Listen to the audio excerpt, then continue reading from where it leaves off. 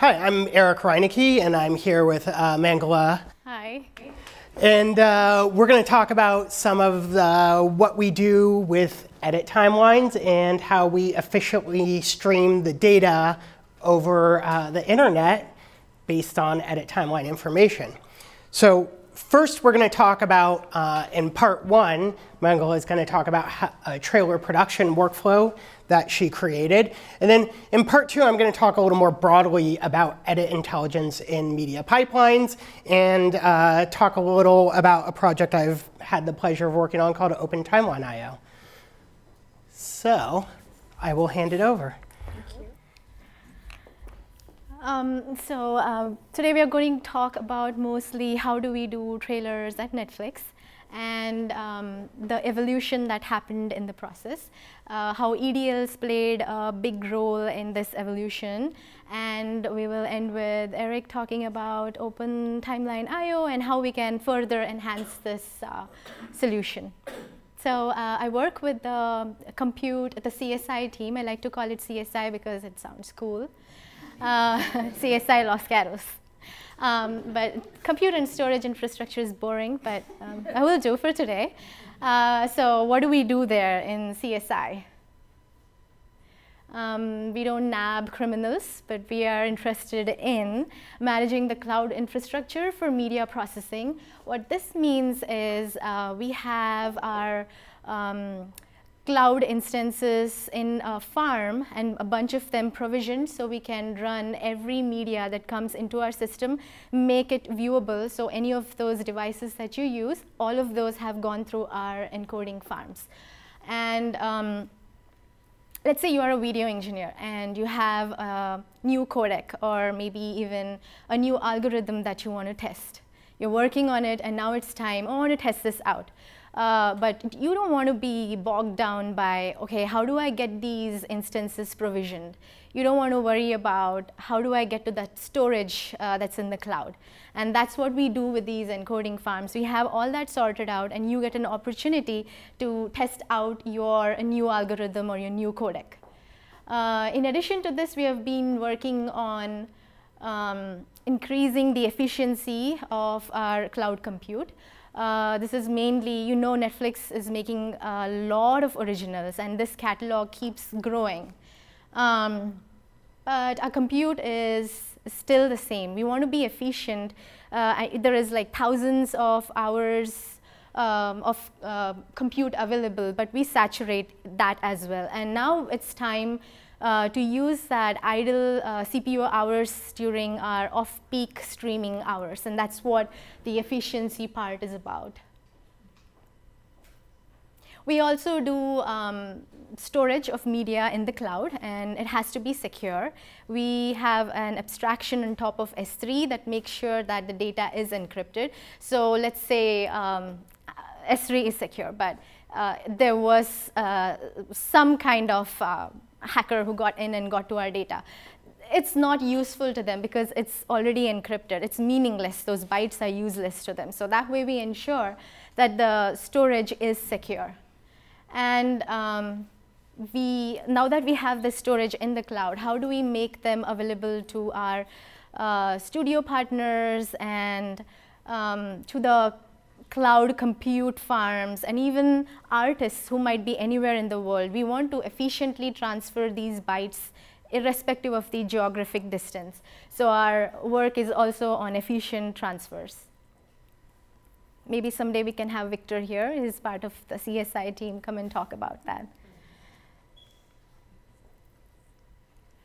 So this slide is trying to demonstrate or make a point about how we are different than a traditional studio.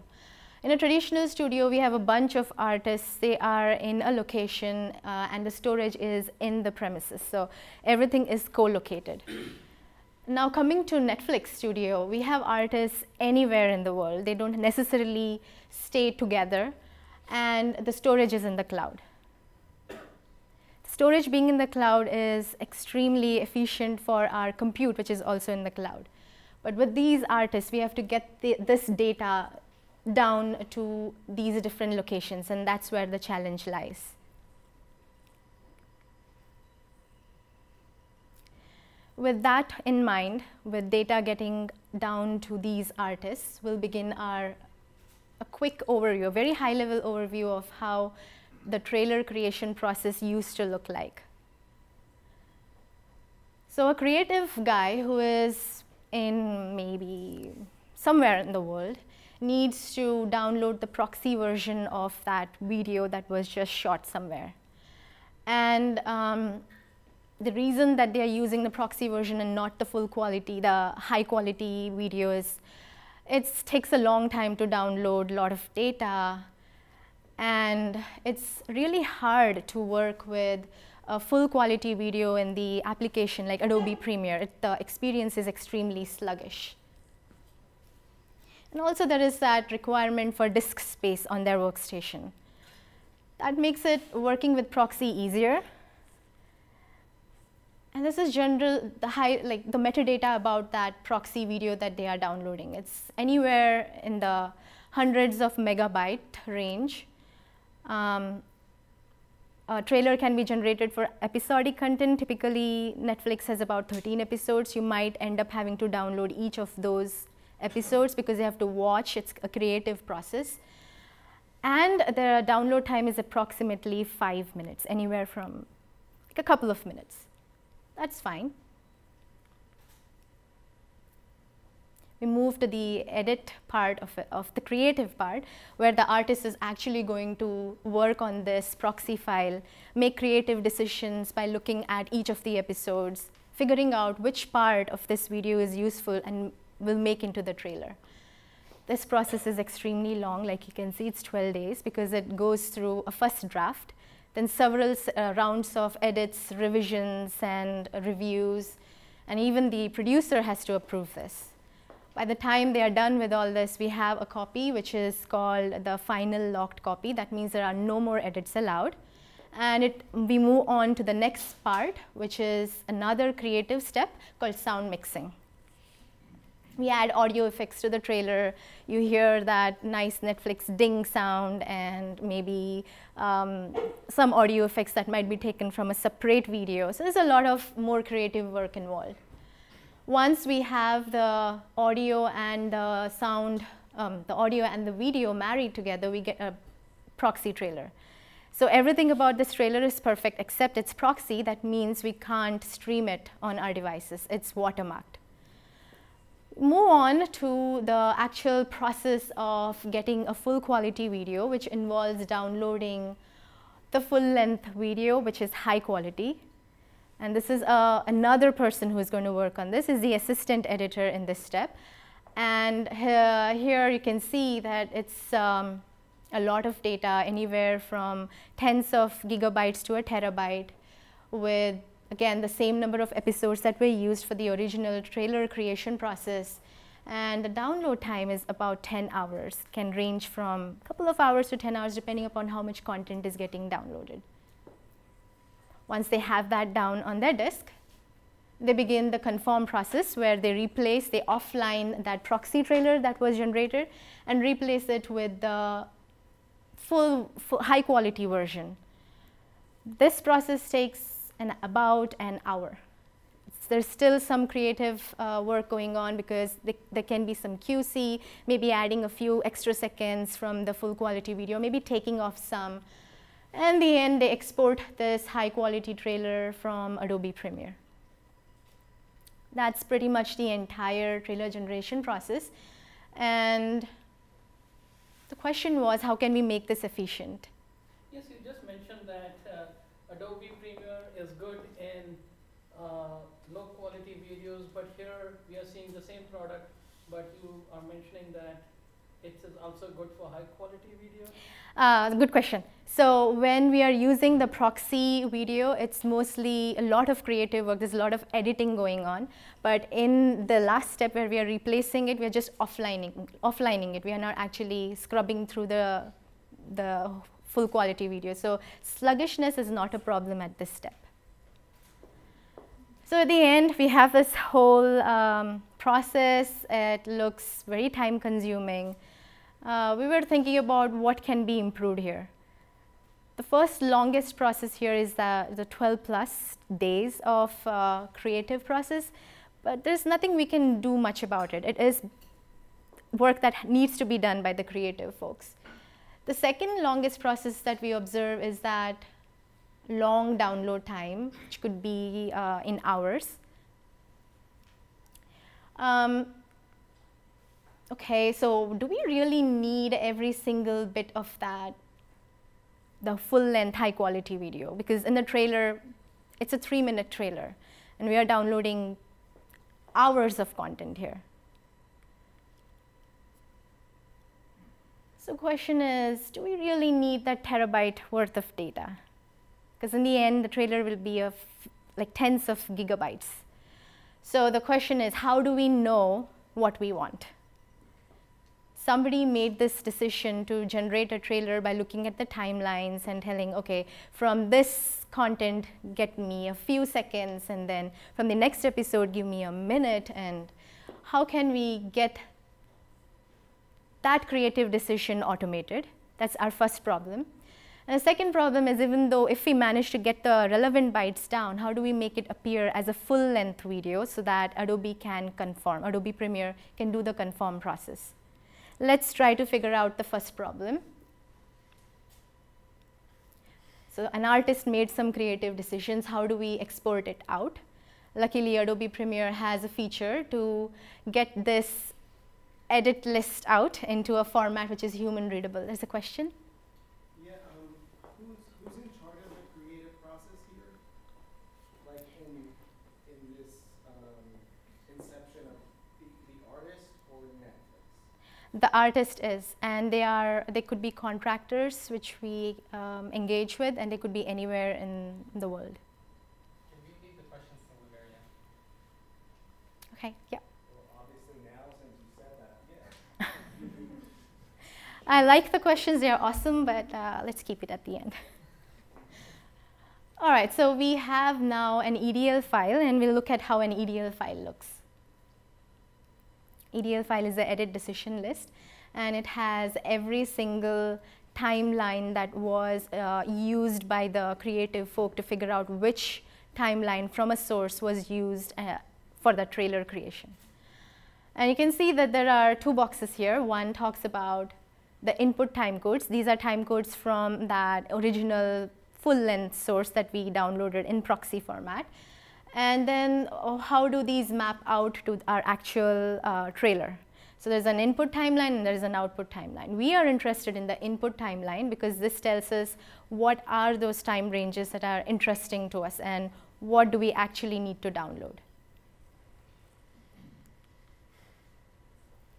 So it's interesting. Uh, we've solved uh, half of the problem because we know now what are the timelines that we want to download. But when our uh, object, our full length source is in S3, we need to talk in terms of bytes. So the next problem uh, to solve is how to map these timelines into bytes. So just a little history about how media makes uh, a, a new, somebody filmed something out and we have a source now sitting in S3. But when it comes to our system, we inspect it. We figure out, is this source really valid? Are there issues with it? This process is called inspection.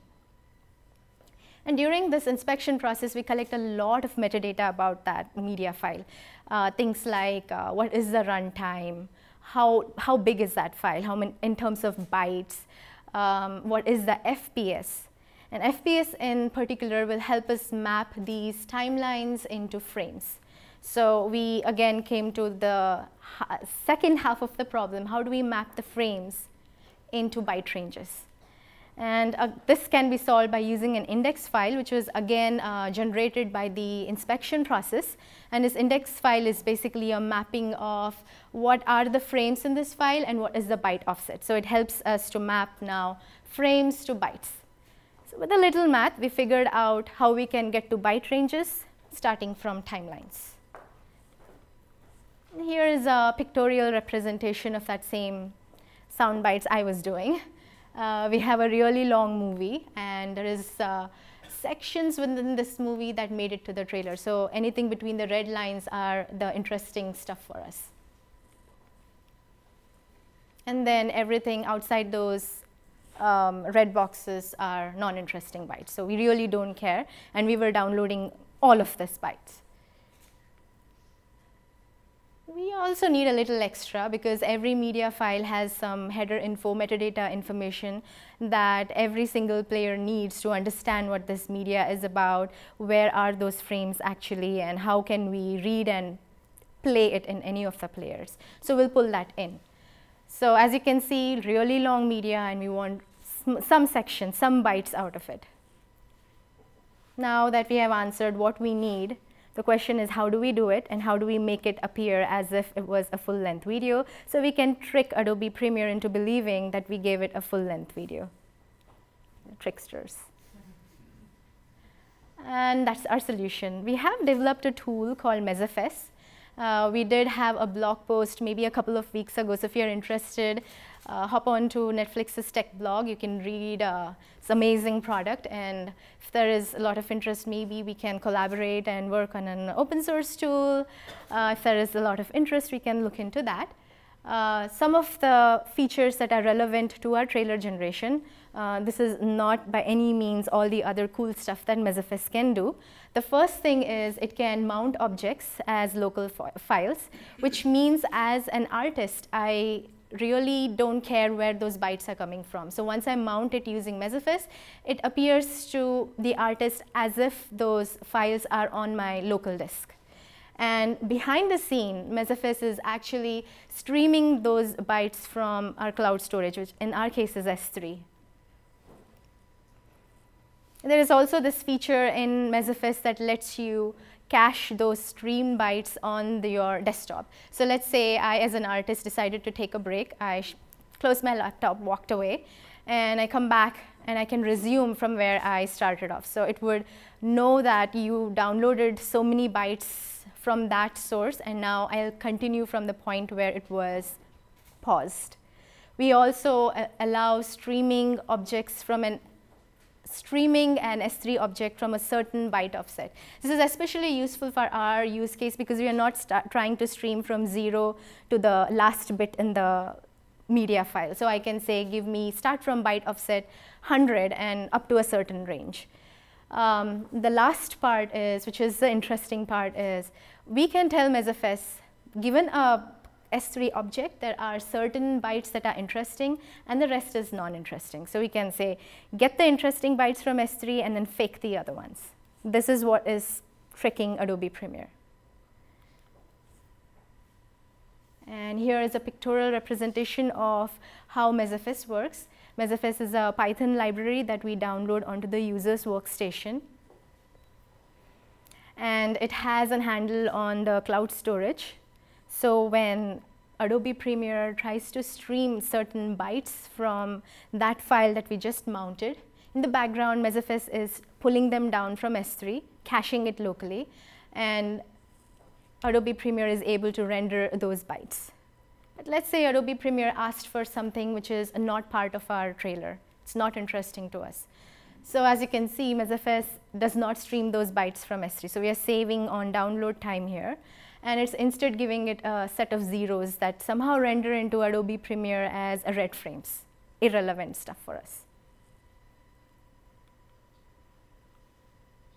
So this was our original process with trailer generation. But the, this process changes a bit. We introduced something called a EDL file. So when the artist generates that proxy trailer, we said, hey, give us the EDL file as well, and we'll use it in the conform process. But we also said we do not want the full length high quality video. We are just downloading the trailer length video. And that means we are saving on download times. So instead of hours, now it's in the order of minutes. And the disk space requirements changes from terabytes to tens of gigabytes. So we were trying to capture how does this model help us uh, save on time. So the original model was example Norm Macdonald is an episodic content on our Netflix service. It used to take about 2 hours 40 minutes to download the full length video versus now it takes about 4 minutes and you can see the difference in uh, bytes that you are downloading. And um, just to extrapolate that, we, we have a trailer generated with 11 episodes, almost a terabyte of data, but we reduced it down to about 18 minutes from hours. And to wrap this all, what were the benefits that we got out of this approach? We reduced the download times. We saw that we came down to orders of minutes. We do not have this requirement for, um, there's basically our disk footprint has gone down significantly. The local disk. Yes. And there is a security advantage. So at no point was the entire full-length video on the user's desktop. So that much less chances, chances of getting media lost somewhere in the wrong hands. And we have given the opportunity for our creative folks to focus more on the creative work and not getting bogged down by this whole download time and uh, even the disk space requirements. Okay, they can spend more cycles on the creative work. With that, uh, handing over to Eric, who's going to be talking about Open Timeline and how we can further enhance this feature. Thank you.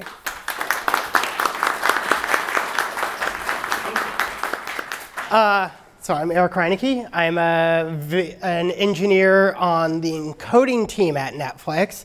And so I want to talk a little about what encoding team does. Um, so uh, one of the things we do is deal with implementing video encoding at scale. Uh, Mangala's team provides us with the compute infrastructure, and we write the things that run within that compute infrastructure. Uh, our team also generate uh, is responsible for the VMAF perceptual quality uh, analysis uh, system. So that's a way of rather than looking at how the computer sees differences in different representations of video, using a perceptual scale to see what the effect on a human looking at it would be. Uh, we also spearhead the development of new codecs. Uh, there are people on our team currently working on the AV1 codec that we'll be rolling out, and number of audio codecs as well. Um, we do media asset analysis and title metadata management. So this can be looking at actual frames and finding uh, interesting objects within those using machine learning networks. It also involves, you know, just the actual looking at media files and figuring out how the data is laid out inside them and, you know, some of those more nutsy boltsy things. Um, and then finally, we do a lot of workflow tools for the asset creation pipeline. So this includes encoding services and uh, some of the more edit-related things that we're starting to look at now are falling under our domain. Uh, and that's the area I work in for the most part. Uh, advance. There we go. So I love editorial. It is the part of the process that I've worked in for most of my time in the industry. Um, and there's a concept that's always talked about in the industry that's known as the three rewrites. Um, a movie is written first when it's commit to the pages of the screenplay. It gets written a second time when the director and the actors interpret it in front of the camera and it's commit to film. The final place, the place where it all comes together, is in editorial. This is the first time you get to see the movie in its full extent and with timing and pacing and music, this is where the emotion all comes together. Uh, and you know, a movie can be completely recreated in this room, and this is what ends up on, on film. So a lot of what I believe in is the fact that by creating efficiency in this point in the pipeline and letting that echo back through the entire process, uh, we can create more time for the filmmakers to focus on things that are going to impact making a better story. So today what we're going to talk about, or what I'm going to talk about in part two here, is uh, what I mean when I talk about timeline-aware pipelines. Mangala gave you the very early preview of that. Um, and then uh, some of the ways that uh, edit information has moved through these pipelines in the past. And then I'm going to talk about this thing called OpenTimelineIO and how it's uh, enabling the next step in being able to push edit-aware pipelines. OK, so if you're a filmmaker, you want to ask yourself, what would my movie look like if I delivered it right now? At any given moment, you want to know what's my movie look like and where should I be focusing my attention to push that movie forward as much as possible. So, you know, at the pitch stage, that's pretty easy. You've got your one-line elevator pitch, and that's just what it is. And you know, at the other end, you've got this great tile in Netflix that you can tap on, and you get your dunk, and you can watch the movie, right? But how do you get information about this in-between spot? That's that's what I think edits can feed. Um, if you think about the filmmaking process, it's very much about a million people with a million different questions all the time that they're trying to get answered. And if you don't have the right answers to that, you're not going to be effective in making the movie better, right? So I think the EDL, in a lot of ways, can be sort of this set of tea leaves where a bunch of the answers to this stuff is encoded. If you just know how to look, find the tea leaves and how to interpret them. So there's another piece which Mangala talked about a lot and she demonstrated really effectively. Um, what are the interesting bytes? The edit is, is something that's going to tell you um, where, what of the movies used. So if you think about um, you know, current digital workflows, we're seeing shows that are shooting four, seven terabytes a day worth of dailies. And if you consider that they might have five, 10, 50, 100 to 1 shoot ratios on those shows, that means of that seven terabytes, maybe 160 gigabytes of that are actually interesting every day. So that 15 hours on a gigabit Ethernet connection it takes to move that seven terabytes, really all you care about is this 22 minutes of that, right? And again, that's what Mangala showed us in the, in the numbers. Um, so all I got to do is get an EDL, and then I've got all this stuff unlocked for me, right?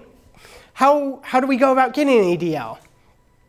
Well, there's number one, the CMX EDL, which I think is probably the most ubiquitous format for EDLs. Uh, most people have encountered them at some point. Uh, it originated with CMX systems. This is uh, from the 1971 NAB demo of the CMX 600 online editing system, uh, wherein you could generate an offline EDL, write it to paper tape as a CMX EDL, feed it to a teletype machine, and online it on the CMX 200 tape machine. Um, it evolved a little bit, and we got the CMX 3600. You know, 1971 was a different time. Uh, the edits had these, these EDLs proved really powerful in these early workflows. Um, and actually, the CMX published a paper with the standard for these EDLs in 1988 is the earliest version of it I could find. And then in, I think it's 1993, SMPTE actually standardized uh, a segment of that document in SMPTE 258M. So I have a question in this room with film technology people who's implemented a CMX parser? Yeah, there's a few CMX parsers out there. Um, I don't think you did a good enough job because I'm pretty sure, did you implement these instructions from the CMX EDL? Uh, so there's wait, which literally stops the assembly of the edit in the middle so an operator can do something about it. And then uh, there's bell, which will play a little noise on the device. Um, so I think we, we need to go update our CMX parsers to actually be able to do these things. Um, I think the point is, is that when you look at CMX EDLs, there's sort of two factors about them. One, they were made to be you know, somewhat human interpretable and readable because there's an operator there where something's going to go wrong in this tape robot and they're going to have to intervene and address it, or at least, you know, pause and bell so they know when to switch the tapes out in the tape machine. Um, and then two, it really kind of boils down to being this instruction set for how do you create a finalized edit at the end of the process, right? So this is something that's more of like an end output. It's meant for A-roll, B-roll editing. The problem is, is that you know, what we want to do is we want to get our edit information much earlier. We want to be seeing the editor and director's decisions earlier in the process. So what do those multi-track EDLs with maybe a little more complexity look like? Because CMX isn't great for those. Um, so, oh, sorry, I jumped ahead a little bit. This, is, uh, this just talks about what those CMX EDLs look like. Mangala covered this mostly. You have your source tape time, your destination tape time. It's just copying things. So what I really want to do is introduce you to my very favorite new hashtag on Twitter, Timeline Tuesday, uh, wherein editors post their edit timelines. So this is more realistic about what editors' timelines look like. There it is blown up. It's not going to help you at all because it's very complex. Um, so the question is, is, how do we get something with a little more richness? All right, we have a new EDL option, AAF, right? So this is created by the AAF Foundation. What AAF actually is, is it's a container format for moving media assets around and metadata along with those. Uh, early on, it didn't have a strong opinion about how exactly that data was structured. The edit protocol was introduced to create a little more standardization around that. Please help me with the details on this because my AAF knowledge is a little, a, a little iffy. Um, and uh, Avid has adapted this as this interchange format of choice. Um, and you know, it is a good, strong, powerful object model in binary form that you can move around. You know, the problem is, is that there are complexities associated with AAF. So this, this is stolen from the AAF document. And, you know, there's stuff here, and you can kind of come to understand this chart, but this isn't how we think about our editorial timelines. We don't we think of them as being these tracks that are laid out linearly and you have transitions laid in. This this uh, defines a great structure for machines to read, but it's not so human friendly. And actually, I wanted to do a dump of the mobs from an AAF file for this presentation to put up on a slide, but I sort of gave up trying to build the AAF toolkit because it's just not the easiest C++ thing to build.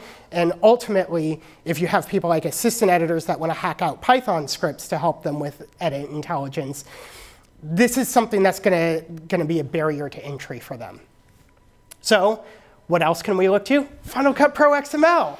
This is great because this is an inspectable format. Uh, Final Apple created it for Final Cut. They actually first published their XML document in, I think it was about 2003 with Final Cut 4 or something like that, somewhere around that area.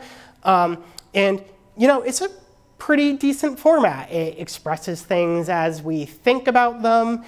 Um, it's pretty clear. It's, and here's a little bit of Final Cut XML. I've I've sort of thinned it out a little bit here just to get the, the broad idea, but you know, there's this dissolve test 2 sequence, and it's got a track, and it's got these clips in it.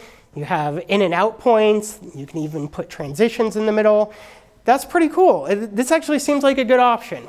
Well, it has issues too. If we go back to the last slide, one of the big issues is going from here to here that format changed pretty drastically. And so what it's done is it's left the Final Cut XML support landscape in products um, a little bit scattered at times. And ultimately, there's another problem that you it's, there's not really a clear path for embedding arbitrary metadata in there. Final Cut 10 XML may be a little better about that. Final Cut 7 XML, not so open to that.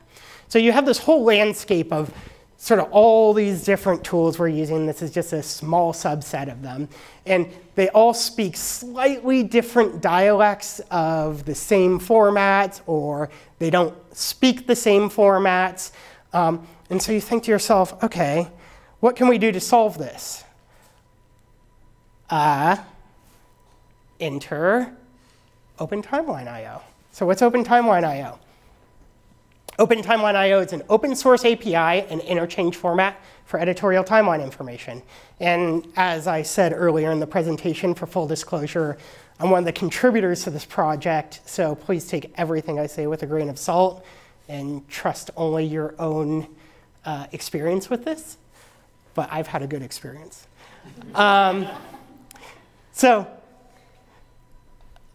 what is Open Timeline I/O? I like to describe it in sort of three primary points. There's an API that defines an editorial data model and a lot of utilities for being able to manipulate, traverse, inspect, query that data model. Um, additionally, it's an interchange format that lets you serialize that data model, move it around between applications. Um, and then finally, it's a collection of these adapters that let you import from other formats into the Open Timeline data IO data model and export out of that Open Timeline IO data model. So now you're saying this. Eric, you just showed me three other formats. This is number four.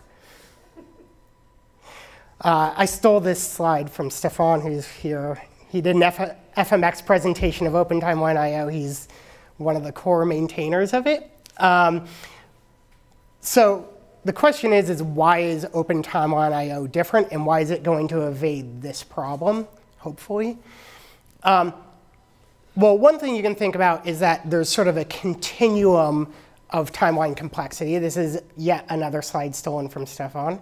Um, you can think of this left side, you have the EDL, which is a you know, text-only printer. And then you can think of the other end of this, which is this sort of all-in copy machine that, you know, PC load letter, what does that mean, kind of action. And what OTIO is trying to do is it wants to live right here in this happy, just right Goldilocks zone for EDLs. Um, and, you know, I think that's powerful, but there's another piece. If we go back to this slide, um, there's, I think there's a lot of focus on this part of Open Timeline I.O., of it being another interchange format.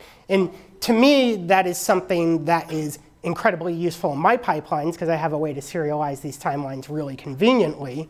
However, I think actually the really important part that people should first pay attention to is that it has an API with, that allows you to manipulate the data model, and it has a collection of uh, adapters to import and export from that data model. So what that means is that it's able to work as a bit of a Rosetta Stone for all these things, and unlike all the other interchange formats, it actually gives you ways to do the complex time math, which I don't know if any of you have had to try and evaluate through a timeline hierarchy and deal with the transforms of time. Stephan has. Um, it's not easy. So having a library to be able to help you with that stuff is non-trivial. And you know that interchange format is something that is in some ways almost just a useful aside. I don't want to discount it like that though. So the stats on it, uh, Pixar hosts the open source development of this project, and uh, it's entirely driven focusing on real world use cases. Um, it contains contributions from many, many studios th throughout the, the uh, industry. Also, vendors have been contributing to it. Uh, it's been in development since 2016. Is that correct? 2016? Okay. Uh, and uh, we just released public beta 10 two days ago. Um, and currently has a Python API. If you go to the GitHub, there's actually a branch right now where a C++ API lives, and that's uh, in preview to be able to check out. And uh, there's adapters for AAF, EDL, XML. There's actually a few other crazy community ones out there. There's HLS, a few other strange things. Um, and then actually adapters can be provided by the plugin system. So if you like, you can write an adapter, put it in uh, PyPI, publish it, and anyone can install it, and OpenTimeline.io will find it and give them the ability to work with it. So what's this data model look like? You have, this is from OpenTimeline.io's documentation. On the top, you have a timeline. It has tracks, which is a stack of tracks. Um, and then each track has a list of clips. And in between, within that list of clips, you can put transitions and each clip points to a media reference. So when you're interfacing with the Python object model, this is the level at which you're interacting with it. This is the way we think about things uh, when we're talking about timelines. You go in Premiere, you go in Avid. The timeline looks roughly like this. Um, so here's what the uh, the interchange format looks like. It's all JSON based. It's very inspectable. Uh, I selected a clip from here, but most OTIO objects look a fair bit like this, just a few different fields. Um, you'll notice that we have uh, time here. This is, a, this is a time range. Time is reflected as uh, time fractions where there is a rate. And in this case, we're using the frame rate of the content. And then there's a value, which in this case, if your denominator is your frame rate, your numerator will be your frame number. Um, and if we dive into what a media reference looks like, you'll notice they have a name and a target URL, which that's something you need to know what the thing is and where to find it on disk. But uh, I think a more interesting part is that every Open Timeline IO object allows for arbitrary nested uh, data in uh, JSON format. So we could use a Netflix namespace here and then record database IDs for these very things. So rather than parsing out our URL string there to try and figure out what a unique identifier is, we can just explicitly state it in our media references. Uh, so, oh, jumped ahead of me here. What does it look like in code? This is some OTIO Python code. What I did is I just took a quick crack at implementing a small segment of the logic that Mangala's EDL stuff does. And so the first thing we do is we can just read in a uh, an EDL from OTIO with a simple read from file. Um, advance. OK, here we go. Uh, you can iterate through just the video tracks in the timeline, and then in each uh, video track, you can iterate through the clips. Here we go, and we just fetch the, uh, the Netflix metadata from the, the media reference. And then finally, we can go here and grab the ranges. So at the end of the day, this will create a mapping of what asset ID it is to exactly what time ranges are used within it.